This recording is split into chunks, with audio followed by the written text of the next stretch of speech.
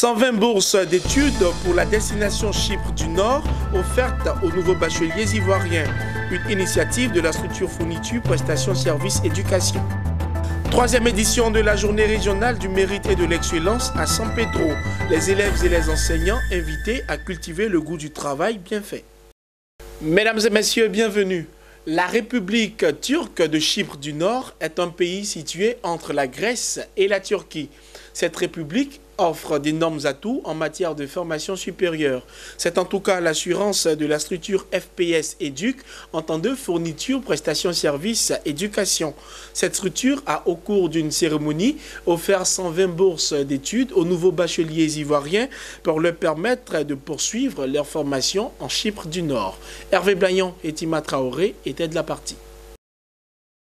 Plus de 120 étudiants ont reçu des bourses d'études de l'agence FPS Duc en vue de poursuivre des études de bachelor et de master en Chypre du Nord. Il s'agit de prise en charge académique octroyée par cette agence afin de permettre aux étudiants de bénéficier d'études supérieures gratuites dans les universités privées et publiques de Chypre du Nord, une île anglaise située entre la Turquie et la Grèce. Au cours de cette cérémonie de remise des bourses, le directeur général de l'agence FPS Duc, Freddy Kibati, a dressé le bilan de ce projet d'excellence éducationnelle qui bénéficie de l'appui des pouvoirs publics.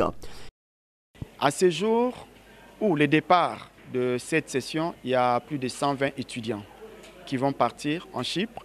Nous commençons le premier départ le 15, le deuxième départ le 8, le 9 et le 11. Ce qui nous fera un total, depuis nous avons commencé cette activité, à 195 étudiants pour le pays euh, Chypre du Nord. Et une autre particularité dans ce projet, le ministère de l'Éducation nationale, à travers l'ADOP, nous appuie, accompagne les étudiants ivoiriens qui veulent aller continuer les études en Chypre du Nord. Les bénéficiaires de ces bourses ont été sélectionnés à la suite d'un processus rigoureux mis en œuvre par les universités d'accueil. Pour euh, l'octroi des bourses, les conditions sont simples. La première condition, vous devez avoir le bac peu importe la mention, peu importe la filière. La deuxième condition, vous avez le choix, soit avoir la bourse de 50% qui ne nécessite pas un test au préalable, ou bien de faire un test. Quand vous faites le test, vous avez la possibilité d'avoir la bourse de 100%. Le test n'est pas organisé par FPS, nous supervisons ces tests. Chaque université envoie une délégation. Nous, on fait tout ce qui est sensibilisation, on organise le test en présence des responsables des universités. Ils récupèrent toutes les copies, ils vont corriger, on nous envoie les résultats.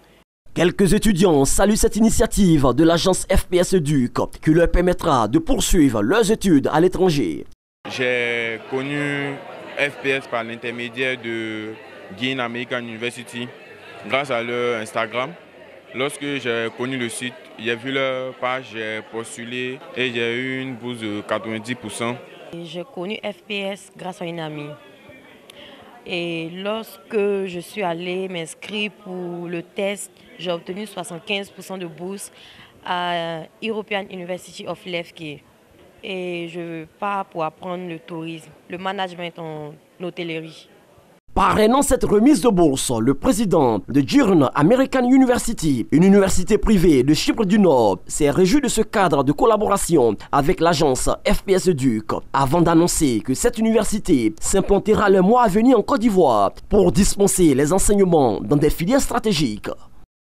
Architecture, engineering, fields of engineering, business. Uh, notre université en Côte d'Ivoire va dispenser le savoir en architecture, en business et en tourisme.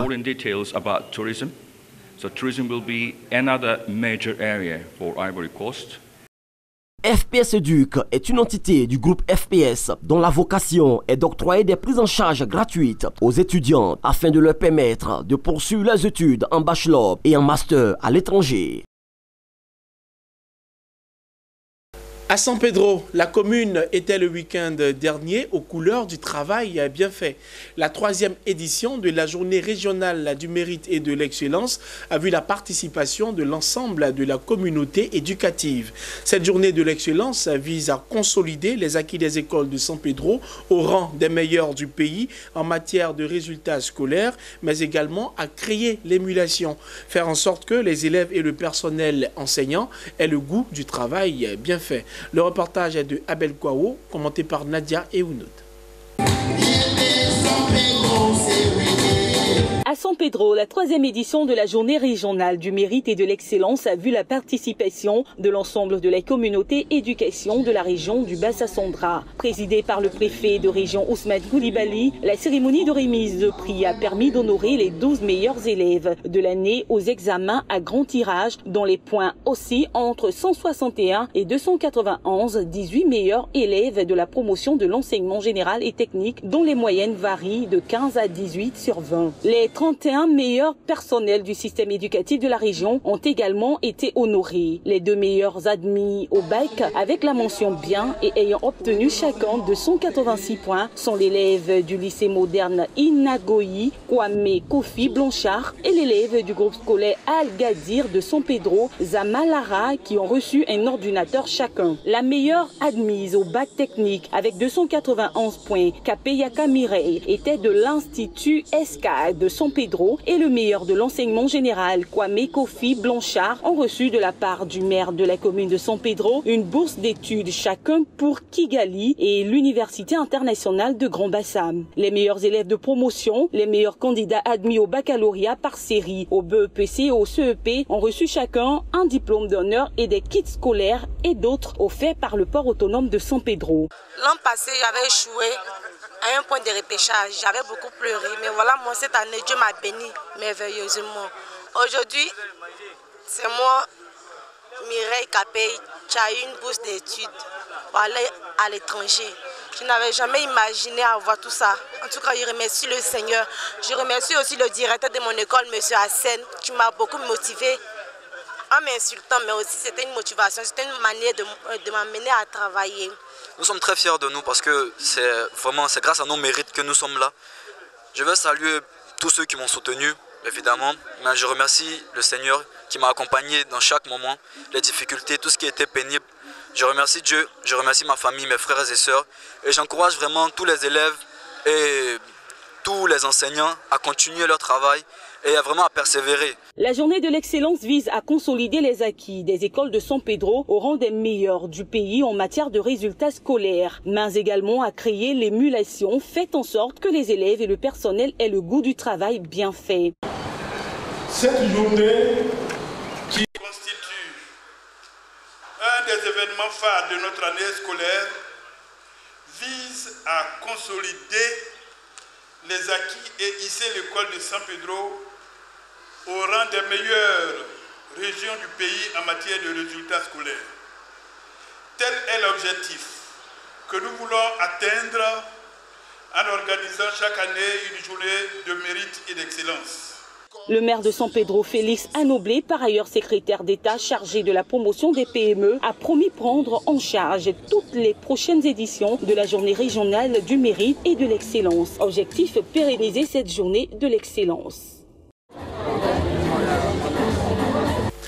Rendons-nous dans le nord de la Côte d'Ivoire, dans la région de la Bagoué, précisément à Bundiali. Après les résultats du baccalauréat 2019, l'heure est désormais à la célébration des admis. L'initiative est de la jeunesse estudiantine scolaire du département de Bundiali. Emmanuel Bonzo nous commente le reportage de Ouattara Daouda.